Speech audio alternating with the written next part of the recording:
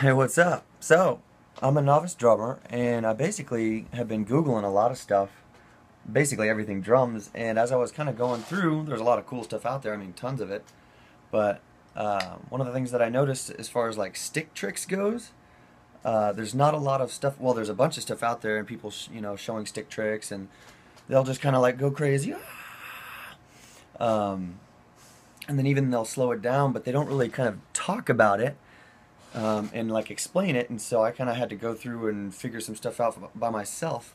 So uh, I thought, you know, I might talk about a couple things that I've learned, and maybe I could help somebody like myself out there that was kind of basically just stoked about drumming and trying to kind of do everything that they can.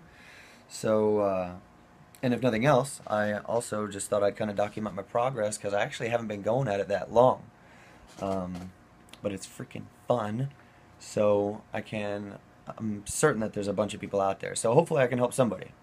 But anyway, so I thought I'd start a YouTube channel and just kind of see how it goes. So I'm also just like really curious if I'll get any views. So uh, that's that.